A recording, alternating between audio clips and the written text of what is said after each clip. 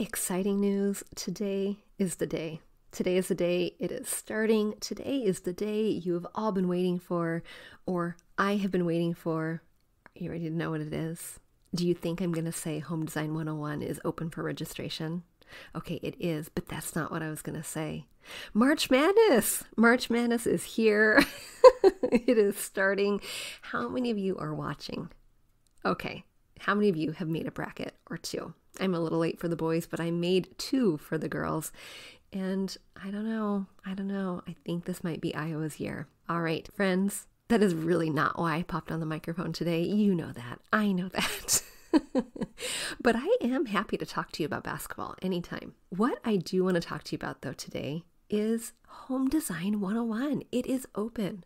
I run these sessions, they're 10 week sessions and the next one is starting. It's starting March 30th. So registration is open and it is only open for a week. Home Design 101 is my 10 week program where I walk you through the design process as you work in one room of your home.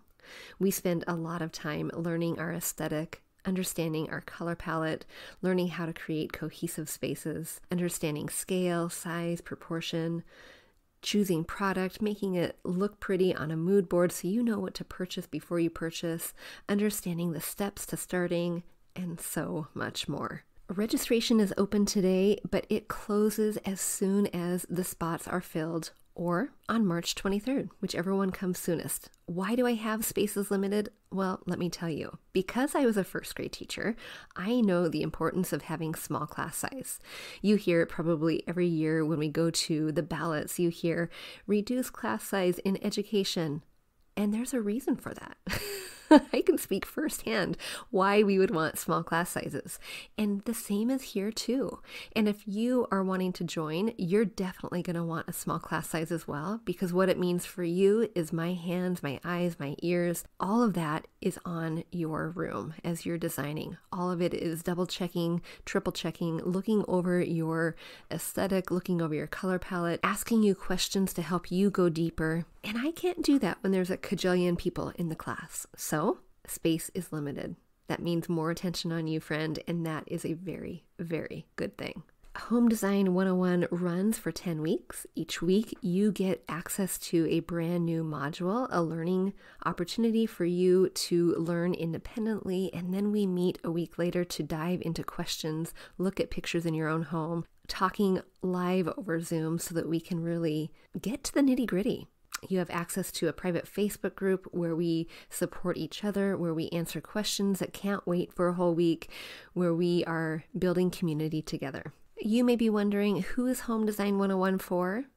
Well, let me tell you, it's for you if you would rather learn how to decorate your home on your own than hire someone else to do it for you. You understand and recognize that the process is going to probably be repeating itself throughout the years as your styles change, as you change homes, as you get new project ideas, and you probably don't want to spend thousands of dollars hiring someone to do it for you. You really want to take the time to learn it yourself. Then Home Design 101 is for you. It's for you if you've ever gone shopping and you have been so incredibly overwhelmed and frustrated at choosing the little things let alone going somewhere where you need to choose the tile or the paint or something just a little bit bigger because whoa, is that going to be even more frustrating and overwhelming? Home Design 101 helps you reduce that overwhelm and that frustration because I teach you the steps, I teach you the tools you need in order to gain your confidence. Home Design 101 for, is for you if you don't mind doing the work yourself. If you are a go getter and you think, I don't mind moving my own furniture, I don't mind hanging my own artwork, I don't mind styling my own shelves, I don't mind painting my own walls, I don't mind it. In fact, I kind of like the idea. Then Home Design 101 is for you. Who is it not for, you may be wondering? It is definitely not for you if you don't have time or energy or effort to put towards learning the concepts. It's probably not for you if you would rather hire someone and spend thousands of dollars to do it for you. Definitely not for you. Home Design 101 is not for you if you would feel more comfortable looking at Pinterest pictures and just copying a Pinterest picture and putting it in your own home and not learning why that approach is has no reflection on you or your personality or your style. Home Design 101 is not for you if, quite honestly, you want to spend thousands of bucks. So, the link to register and learn more about it is in the show notes. All right, friends, let's get to today's episode. You're going to get to be a fly on the wall as we recap the live workshop that teaches you four steps to creating a home that you can't stop gushing about. And because this was a very long workshop, this is a two parter. Enjoy today's show. We grew up with the phrase, home is where the heart is. But our culture has shifted, and now the message is, home should be Pinterest perfect. I'm calling BS on that message. Home, it's not about the stuff, it's about the story. And whether you know it or not, your home is a reflection of you and is already saying something. So, what is it that you want it to say? Hey, I'm Dani, a former first grade teacher turned home decorator. Going from a dual income to a single income so I could stay home with my babies meant budget, like ramen eating, Goodwill shopping budget. And I learned a few things along the way, like how to bring big style to your home without breaking the bank. And I'm sharing it all with you. Tips, tricks, decor, and design advice so you can learn to tell your story with your style. Where you can start living free from the Pinterest perfect trap and start living a life of intention. Welcome to Fig and Farm at Home, where we design happy living and where it doesn't have to be perfect to be beautiful. All right, can you guys see my screen? yeah, they're my teeny tinies. These guys are my why. These are the kiddos who have inspired so much for me. But I used to be a first grade teacher. And when I was teaching, I absolutely loved my job. It was so hard and so good all at the same time but when i when i had my first boy owen the tall guy in the middle he um i just wanted to stay home. I wanted to stay home and staying home meant a lot of sacrifice financially. It meant i couldn't you know afford pretty much anything. We went from two incomes to one and i joke about having to be a goodwill shopper um, but the truth is that's what we did. And i joke too about eating ramen and we might not have eaten ramen but we sure ate a lot of beans and rice. And money was so incredibly tight so tight that i remember waiting every month for the $10 jc penney coupon to arrive in the mail. And jc they don't have this at the time anymore and i'm pretty sure they lost money on it but the $10 coupon would arrive and i would buy the $12 shirt for my husband because he was going from graduate school to white collar job and he needed the fancy clothes. oh, so we would end up spending $2 to build his wardrobe each month. And as you can imagine, it went really, really slow, but hmm. we got there. We got there. Mm-hmm. So money was tight. And as these kiddos went from that size to this size, me staying home and ultimately going from you know having a little online etsy store and tutoring on the side to doing what i'm doing today i learned a lot. And i learned a lot of how to use our money super wisely to create a home that really serves our family and serves us well. Mm-hmm. this picture is a picture of us just this summer at my um, husband's farm his parents' farm over in Eastern Washington. And um, tractor is not a prop, tractor is a farm tool that Owen is going to learn how to drive this summer. So I'm super thrilled about that. Mm, so yeah, from from teeny tiny to now these kiddos, you know, I, I went from having a baby boutique where I worked um, little markets here and there, and I had an online store on Etsy. Do you guys shop at Etsy? Mm-hmm. Yeah. Mm-hmm. So had an online store at Etsy, and um, when we moved from Iowa over here, I decided that I couldn't necessarily do both at the same time, and my passions were changing. My babies were getting bigger, and I had a new home to decorate and new friends to make, and together that's when they started asking those new friends started asking and coming into our home saying how do you do that how did you know to put these things together and one thing led to another and here we are here we are today i still teach a little bit i still um, coach in the my middle schoolers um, after school. I coach there. I coach basketball and volleyball, and love it, love it, love it. All right, so today we are going to focus on these four things. So I'm giving you the Cliff Notes version straight away. Um, the four steps to creating a home that you can't stop gushing about is knowing where to start. That is the very first step. And of course, we're going to flesh it out all together. We're going to go a little bit deeper in each step, landing mostly on one, one of the most important. The step two, and this is it. This is the spoiler alert. This we're going to learn to define our aesthetic. And this, if we were to choose, if I were to say there's one thing that is absolutely most important for us to focus on when we're creating a home that we love, this is it defining your aesthetic. Learning to make a plan. Planning is essential, and planning can get you out of so many hiccups when you are not entirely sure what it is that um, you want to create, what it is you want to do. Planning is essential. It helps keep you on track, and so does your budget. So, working with your budget, we can't not talk about budget. Budget is something that everyone wants to talk about, and they think that this is the most important, but actually, it is not.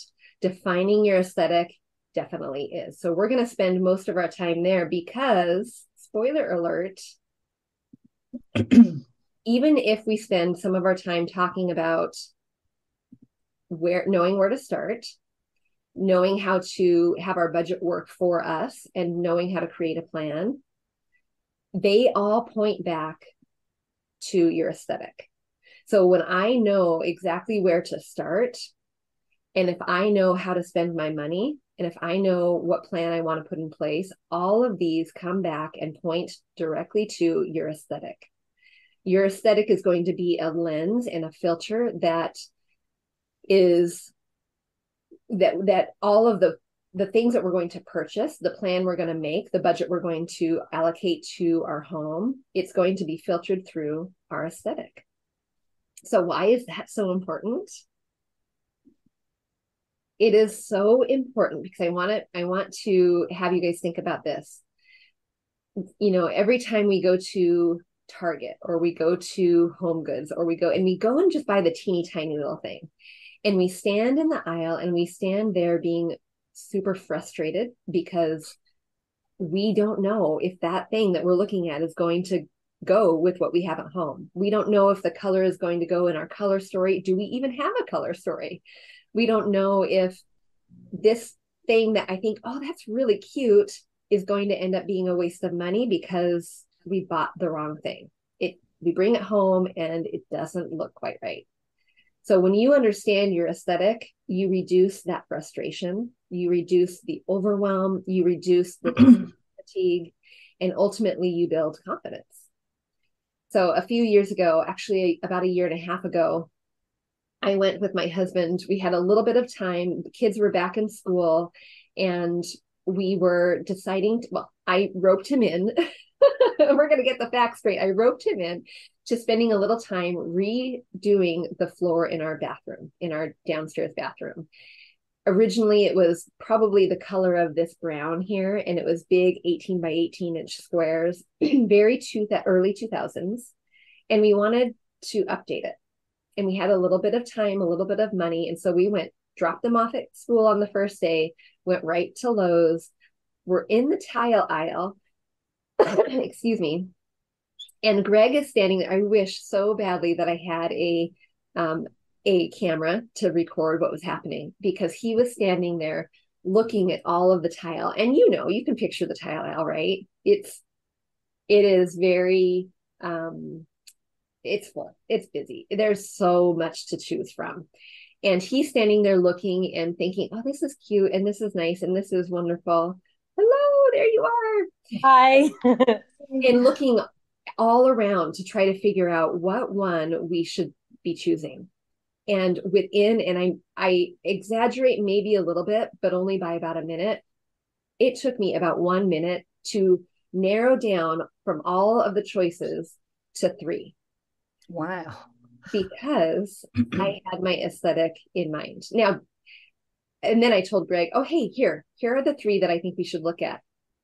And from that, that just by having a really firm foundation of what my aesthetic was and what we have going on in our home, not negating Greg's opinion, I still, we, he was very, actually very relieved that I could narrow it down so quickly. Mm-hmm. And then we mm-hmm. still had the choices to work together. We still had those three choices of that would work really, really well with the things that were happening in the rest of our home. So it was a a wonder that's a, just a great illustration of having when you know your aesthetic you're able to reduce overwhelm reduce decision fatigue we we spent 30 minutes in Lowe's it could have been hours mm-hmm. and it could have been hours away from doing the project we were able to get in and out get all the things we needed and get to work that day so knowing your aesthetic really, really helps us. That's where we're going to spend most of our time on today. But first, knowing where to start. We do need to talk about that.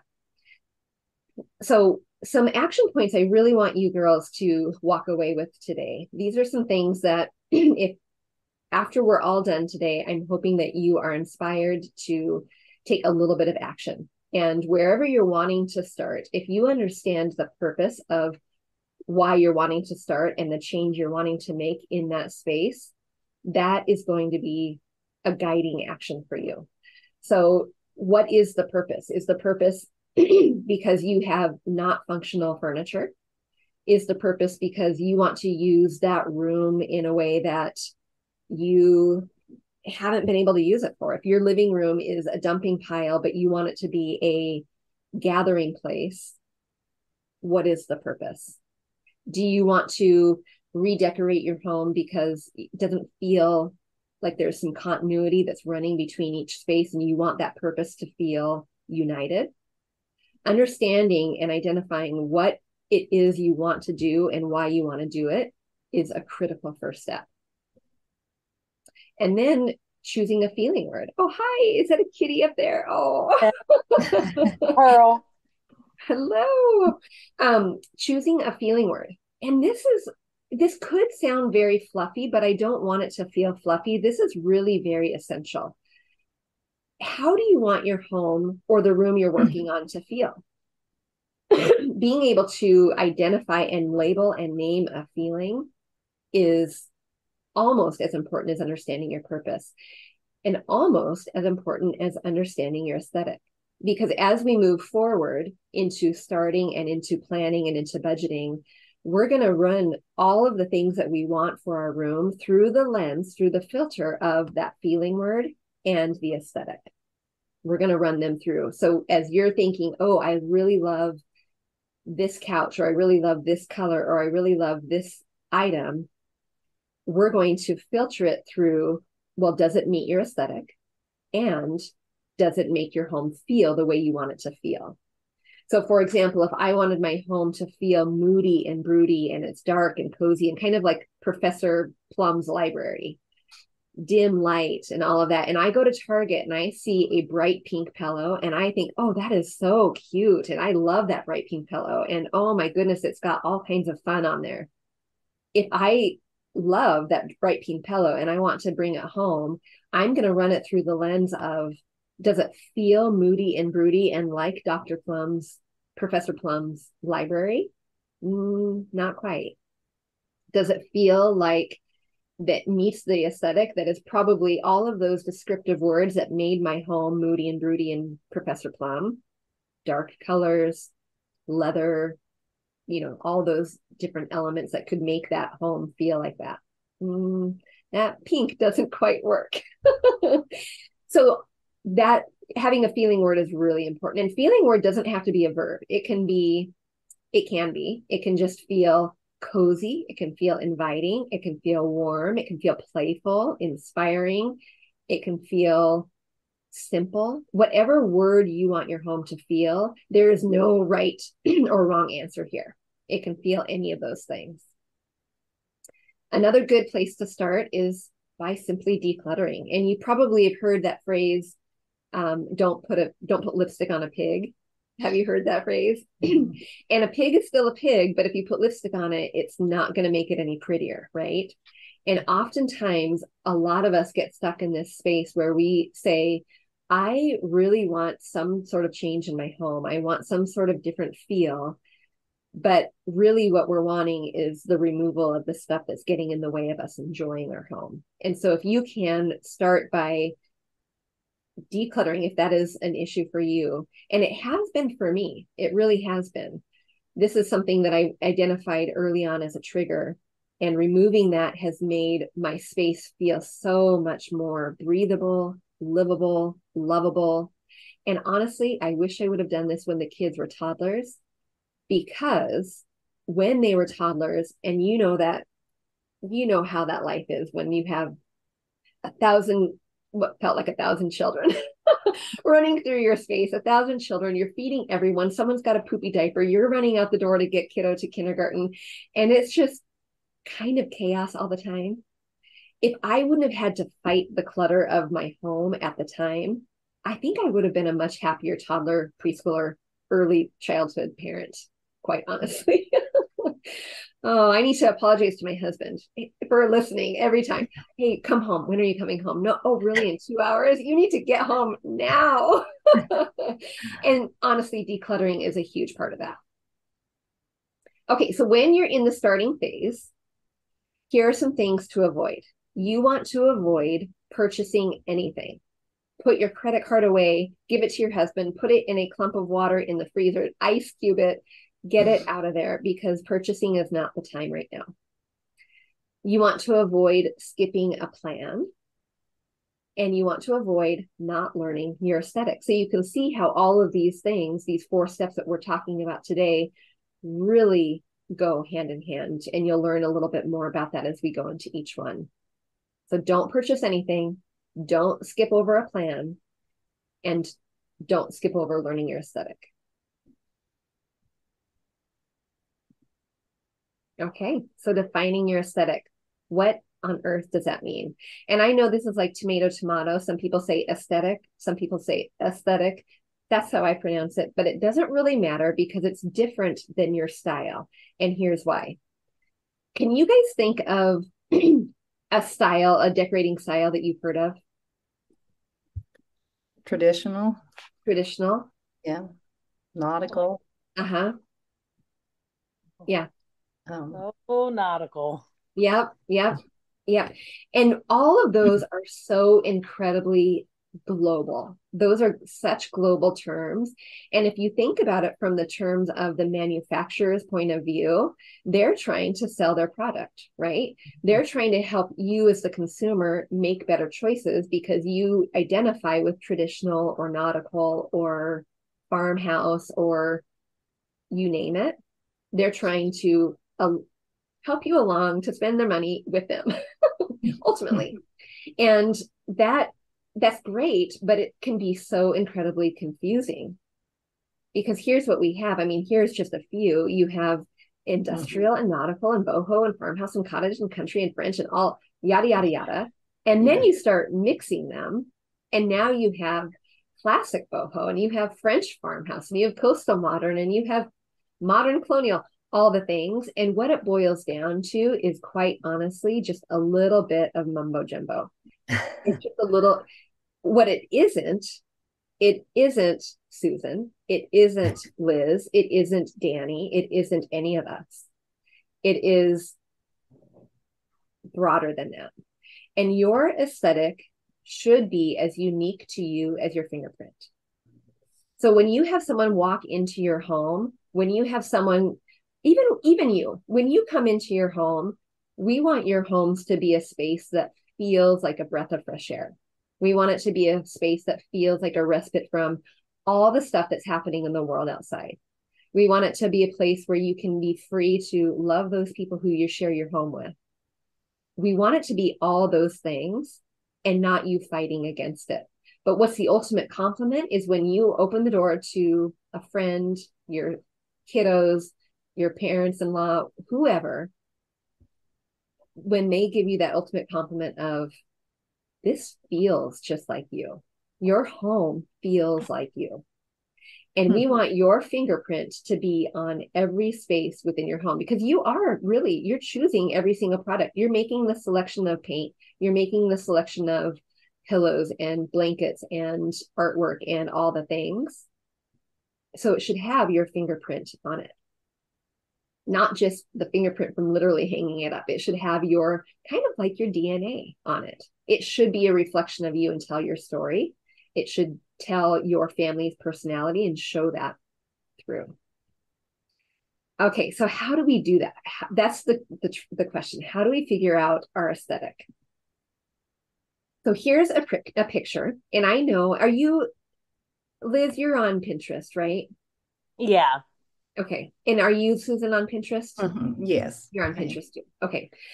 A lot of times when we go to Pinterest, you we have these really beautiful pictures that are staring back at us and we can appreciate the picture and that's a wonderful place to start and so i chose three that aren't necessarily on my board but that are ones that i absolutely love looking at here's one and if i take a look at this picture i'm thinking yeah this is really it's fun and playful and bold and i have a lot of descriptive words for this picture if this was an Airbnb, sign me up, book me here because I want to be there. I could picture it in my home. It's really lovely.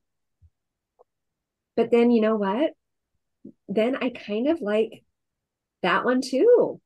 I mean, mm-hmm. that, gosh, it looks stately. It looks refined. It looks cozy. It looks kind of like that Professor Plum's look that I was telling you about earlier. It looks like I want to go sit in that chair in that corner and read a book and have my coffee. Mm-hmm. I love that. Oh, but then I like this one.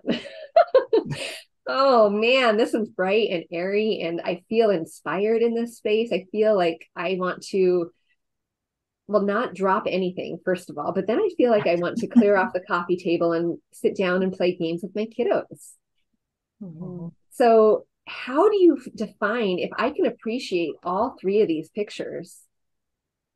if I can look mm-hmm. at them and say, I really like each one of them, but they are so incredibly different from each other, how do you start defining your aesthetic from that? Because we do, and I teach this in my home design 101 course, we do define our aesthetic. We spend a lot of time on that actually, about two weeks, because it's so tricky. And we use Pinterest to do that. And sometimes when we use Pinterest, we use it in a way that is very distracting. It can be inspiring. That's what Pinterest is for, but it's really very distracting. And what turns out, if I were to go look at your Pinterest boards, what I might see is a really lovely collection of beautiful photos. But in order to understand your aesthetic, we need to turn that collection into now a textbook, kind of. You need to become a student of design in order to figure out what is it about this room that I love so well that is also in this room that I love so well, that is also in this room that I love so well. And that is how you learn your aesthetic. So here is what we do. Here's where you want to take some notes. I see you girls are so good. You're taking notes. I love it. So when you are trying to define your aesthetic, I want you to choose an inspiration photo. And this inspiration photo should be of one room. Maybe it's the room where you're wanting to start in your home. Let's say you're wanting to do your living room. I know, Susan, we're working on your living room. Liz, do you have a room that you're wanting to work on? Is it still that front room?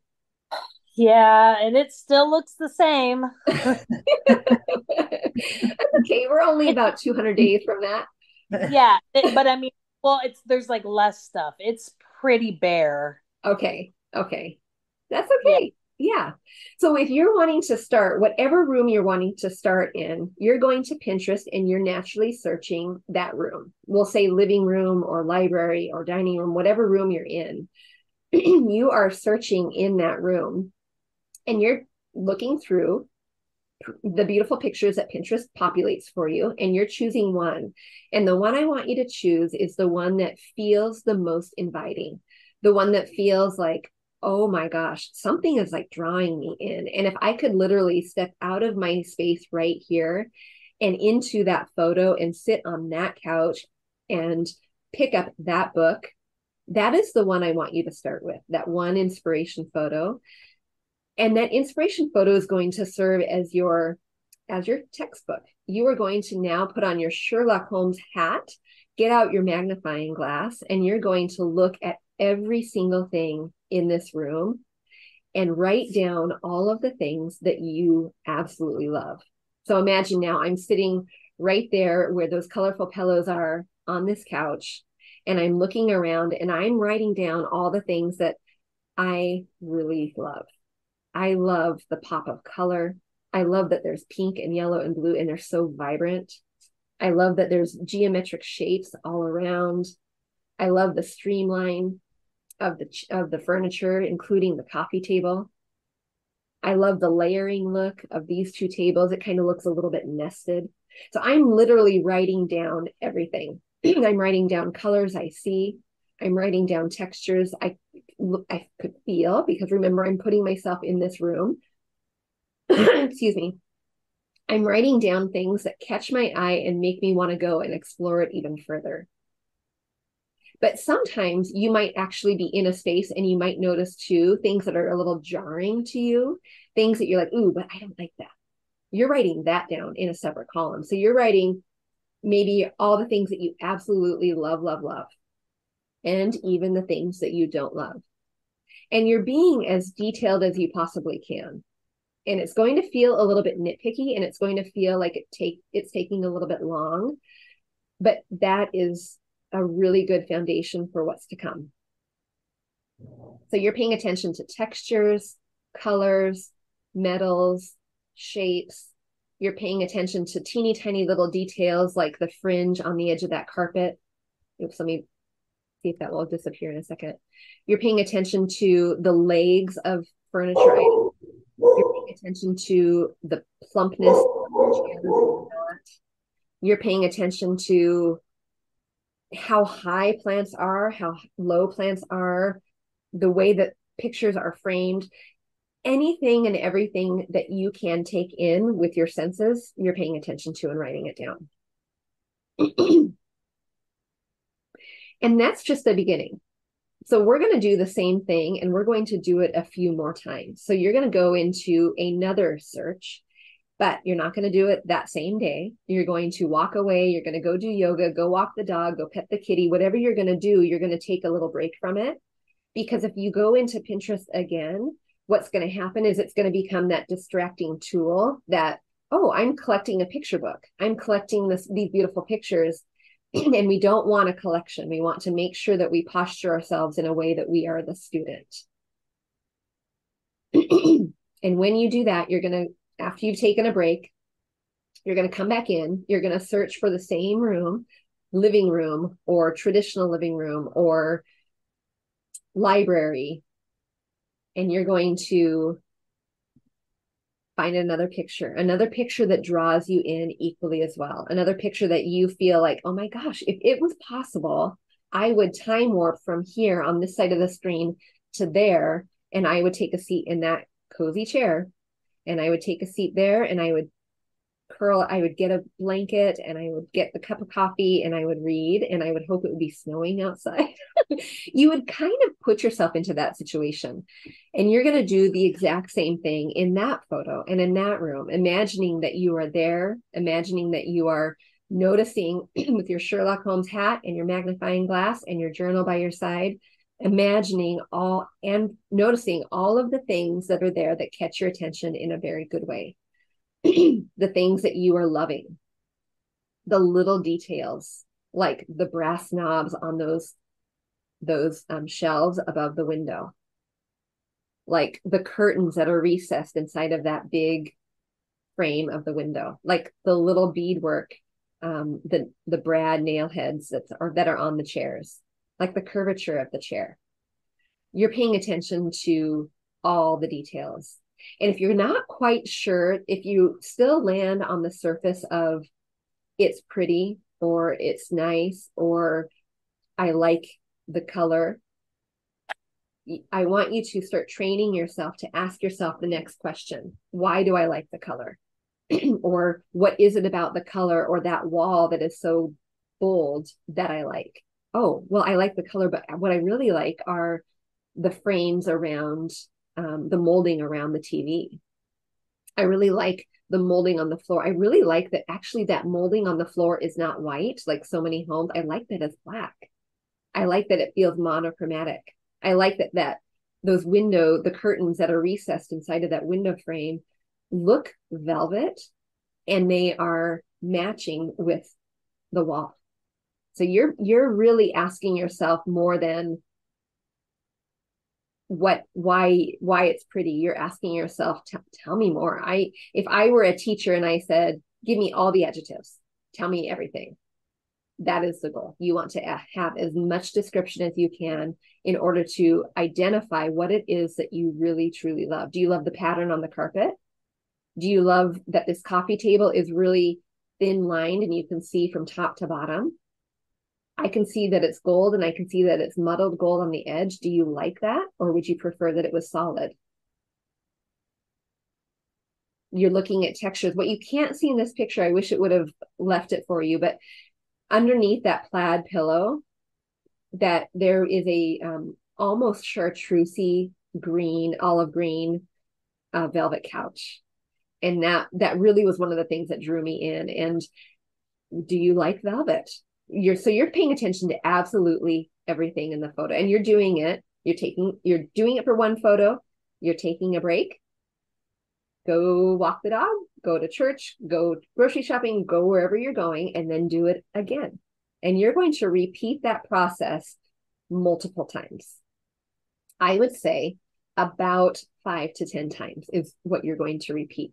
But you don't just want to pick any photo. You want to pick the ones that you really do truly feel like, I really want to go sit in that chair. And if you don't feel that, if you can't identify a feeling for the word the picture that you're looking at, maybe that is not the photo for you. So if you look at this photo and you think, nah, try looking on Pinterest for another inspirational photo. So you want to have a feeling associated with the space. For this one, for example, it feels fun. It feels playful. I like playful. I like fun. I feel like I could be in there. I feel like this is an invitation for inspiration. I feel really cozy in this space. Honestly, what I feel like is I want to take out my book and I or my journal and I want to write a book in this space. This feels like it could be inspirational in a different way. And in here, I feel light and bright and airy. So you are identifying all of the teeny tiny little descriptive terms that you're noticing. And you now have five to 10 sitting in front of you. You have five to 10 ideas. And what you're going to do at this point is you're going to take a look at, and you're going to lay them down. So I hope you have five different papers to do this with and you're going to take your cute little highlighter or your marker or your crayon or whatever you have that's a color coded and you're now going to go through each picture or each descriptive page you just wrote and you're going to identify the design elements that you noticed in this room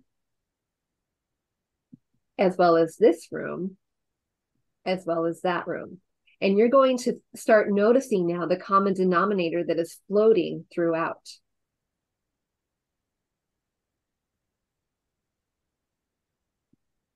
Now, I kind of went fast in here. And usually, when I'm looking at someone's Pinterest board, it doesn't take me very long to pick up on that common denominator. Um, it takes me not not too long at all. Do you guys notice any similarities between these three rooms? The the leather accent chairs. Uh huh. Yep. All of them have le- leather chairs. Yep. And so that would be on that list of your now your design elements your aesthetic you are drawn to leather. Now we might go a little further down the road later on and you might decide that actually black leather isn't for you but it's this kind of vintagey worn camel leather that you like. So once you start identifying that broader term like leather you're then going to look for terms in pinterest like uh, living rooms with leather chairs. And now you're going to do the same thing with that so that you can identify the leather chair you like, the leather, the style of leather. Do you like black leather? Do you like dark leather? Do you like warm leather? Yeah. Susan, do you see anything? That's, I was just the first one is the one that kind of throws me a little bit. I mean, I, Yeah. I you know, it's different, a lot different to me than the other two, but Yeah. Um I mean in in the last two I just kind of see um what what you and I've talked about, you know, just kind of a a, co- a unity or a calm kind of vibe, even though it's very dramatic. The black Yeah. one is really dramatic, but it's it's just a unified. Yeah. And you just said a word that I would put on your list, and that word is calm. They Mhm. feel really calm because this one doesn't necessarily feel calm. And of course, calm is going to look different for each of us if we were to really dive into what that meant. But that would be a word I would put on your list, Susan. It Mhm. feels calm. And we know, Susan, if this doesn't feel calm to you, we would not, we would steer clear from that in your aesthetic. Liz, if this felt calm to you, maybe we would identify what. Yeah, she's like, no. Okay, let's say this felt calm to me. and the thing that could feel calm is hmm. that there's no clutter. There's no clutter in here. That feels really calm. It feels playful and calm at the same time. So you can, even by picking that feeling word, you can figure out why does it feel that. So you're asking, you're constantly asking yourself that next question, why and why and why. So some things I noticed straight away in all of these, there are natural elements in each one of these. So we've got the tree, we've got this um, fun little wood table, though they painted it yellow. It's a, a tree stump. Um, we've got this nice wood war- warm wood, but we've got the stack of wood over here to the left that kind of looks like it's um, on a feature wall. We've got this cork board that presents itself as warm and natural, like a natural element. So there's lots of natural elements in here, and there's natural elements in here with, of course, the warmth of the wood, the the living tree. We've got the wood bowls here. And then in here we have the warmth that presents itself from the natural elements. We've got the, the nice wood mantle. We've got this rattan, which and these um, baskets and this wood ladder. All of those are um, warm and kind of that natural element. There's black in each one. Black is anchoring. So there are things that kind of combine. They, they are very, very different, but you can, even with pictures that are so different, you can pinpoint things that could be very similar. Okay, let me show you. This is an example of someone doing this, one of my students doing this and feeling and finding their aesthetic. So we want your aesthetic now to be all of those design elements, those common denominators that you found through all of your inspirational photos. So, for example, hers were velvet, warm wood, clean lines, brass, unexpected details, bright and airy, deep green, vintagey. She really liked grandma y, which that meant something to her. That was a feeling word for her. Um, matte black. These now become your aesthetic. So as you are now choosing how to start and where to plan and where to invest your money, these things are the filter that you're going to bring all of your purchases through, that you're going to bring um, even put with your feeling word. And if your feeling word was playful, we'll say, oh, does playful feel like brass? Oh, I don't know about that. You know, you might then need to refine just a little bit more and decide is your feeling word off or is your aesthetic off? All right. So when you're doing your aesthetic, some things to avoid. This is a big process. It takes a long time. And when I teach it in Home Design 101, it is literally two, we spend two weeks on this. So it is something that is so incredibly important. And one thing to avoid is to rush the process. So to do multiple pictures at one time, to think that I'm going to get it done in one weekend. This is something that will evolve over time. And as you start becoming a student of design, as you start putting on that Sherlock Holmes hat and getting out that magnifying glass, this is something that you are able to pick up on these elements over and over and over again. It just becomes easier and more natural, kind of like riding a bike. But it is something that needs to be practiced, just like if I were to go to the gym and shoot some hoops, I would need to practice that over and over. The other thing to avoid during this phase is purchasing anything. Don't purchase anything. Don't purchase a thing. And so you can see how already in two steps in knowing where to start and in defining your aesthetic, we're not purchasing anything. we're holding back because here's what happens, girls. And I want you to take a note on this. If we rush the process and if we dive into purchasing something because maybe it was on sale or maybe we found the good deal at Costco or we thought, oh, it might work. What can happen is that we purchase the thing that now we're bound to. And it is a high purchase price. It is something that now we're kind of stuck to, we're handcuffed to because I I can't take it back. I that was that couch was two thousand dollars, we'll say. And now I have to design my room around this couch that now I realize, oops, that wasn't my aesthetic, or oops, I jumped the gun on this. So purchasing before you make a plan, purchasing before you um, know your aesthetic can be um, hard to remediate. We can always remediate it, but it can be hard to remediate. The other thing to avoid is copying a, de- a design. So if you find one of those inspirational photos as you are having your Sherlock Holmes hat on and you're finding one that you love, love, love, copying it from Pinterest and putting it in your own home can be um, can be tricky. Every once in a while it works, but here's what ultimately happens. What you're doing is you're copying someone else's aesthetic and their personality. And even though it's very, um, very complimentary to that person, there's no fingerprint that says Liz or no fingerprint that says Susan. There's no fingerprint that has your name tied to it. And so it, it is a lovely piece. It is a lovely room, but it's not necessarily filtered it the choices aren't filtered through your aesthetic they're filtered through someone else's. And one thing you know i had a client a few years ago who had a very lovely home but as each i went into each room and she was showing me her home she had a very different look and feel in each room. And what ended up what it ended up looking like was no continuity between each space. It looked like a patchwork quilt where we had farmhouse in one room and we had uh, super traditional in another, and we had um, I don't know, nautical in one. It it looked like a patchwork quilt. There was no continuity between it, but boy, they sure looked lovely in and of themselves when you shut the door. But once you opened the door and looked out, there was nothing that unified the space. So, uh, of slowing down, taking your time through this, and not purchasing anything is important.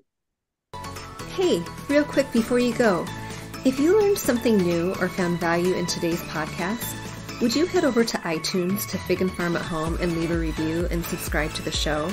That would be awesome.